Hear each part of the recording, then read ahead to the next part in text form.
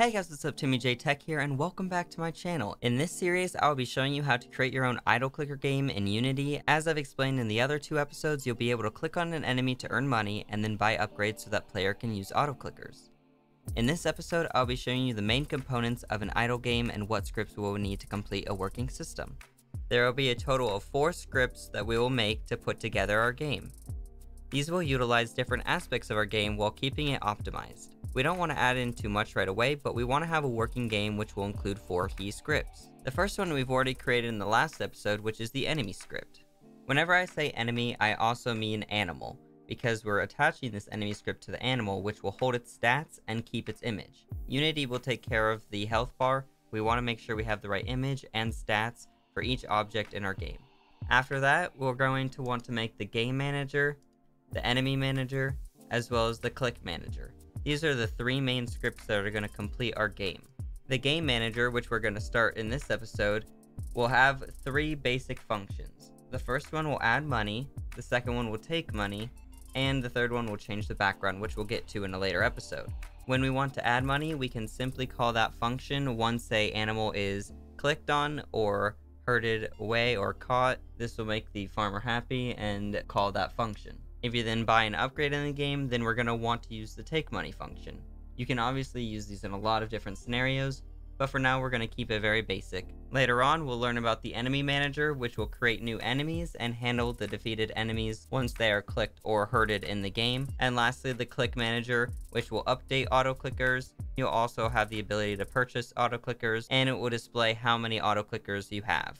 Now you're going to want to open up your Unity project once your Unity project is open, we'll want to do a little bit of file management. Go into your scripts folder, right click, and create the three scripts we talked about. Game Manager, we're going to want to create Enemy Manager, and lastly, Auto Click Manager.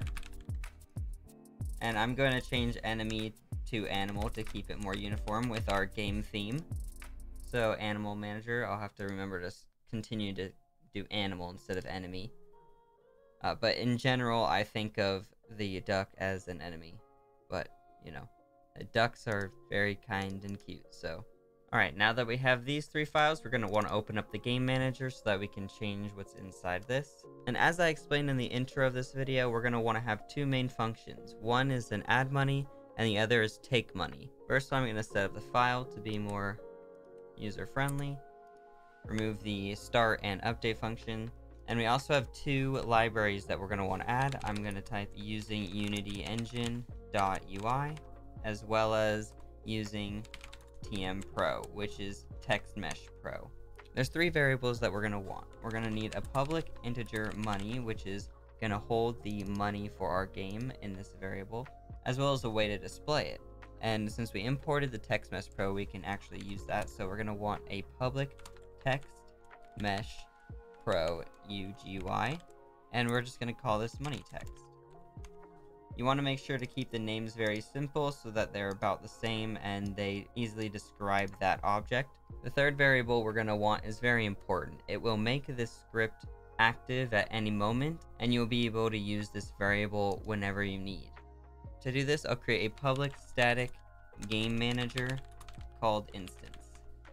Then we're going to want to call the awake function for this class and inside here, we'll just say instance is equal to this.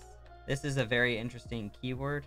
It doesn't really come up that often in C Sharp because when you create a constructor, you can say whatever the variable is is equal to the variable that you've created at the top of the file.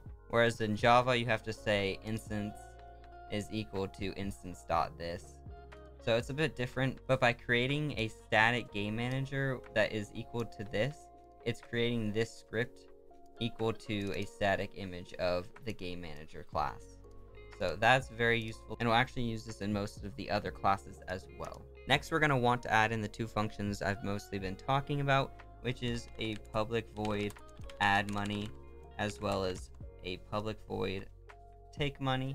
And if you're using VS Code, you can use your keyboard to duplicate some lines of code and you can do this by using Shift Alt and the down arrow key on your keyboard. So I just selected the lines that I wanted, or if you have it hovered over a line, it'll automatically duplicate that line. Now we can just change add to take, and we can fill in these functions. Whenever this function is called, we're going to want to make sure we input a certain number to add to our money. So we're going to want to insert a amount, which is an integer, and then we'll take our money and add that amount. We can do the same thing in the second function, but when we take the money, we're going to want to minus equals the amount so that it removes the money instead of adding it. Then to display this, we're going to want to use the TextMesh Pro money text. So we'll say money text.text is equal to a string, and I've been using the dollar sign, so I'm going to use that, and then I'm going to concatenate money dot to string. We'll convert a number to a string, which will allow us to display on the screen as a UI component. We can copy and paste this right into the take money function as well because it is the exact same. Once we add or remove the money, then we'll want to display on the screen. Now I want to make sure if there's any errors, so go into your Unity project and in your console, if it has any red errors or lines, then you'll want to check over the code and make sure that it is correct. And now we can hit play and it won't really do anything, but technically, if we add the function to the duck, if you click on your animal duck, which has the button and the health bar, we'll want to make sure to click on the main component and then drag and drop the animal script underneath it. So now we have a couple options. We can give it an HP, we can give it a max HP, and some money that it will give the player. We can already add in the health bar fill by simply dragging it right into this slot. For our duck, I'll just give it a simple 10 HP, and then it'll give us 10 gold as well. In the next episode, we will write the animal manager, which will allow us to click on the enemy and do damage, as well as once you round up the animal into the barn, you will receive some money. Once it's rounded up, a new animal will spawn, and then you'll be able to do the same process over and over to earn enough money to create auto clickers.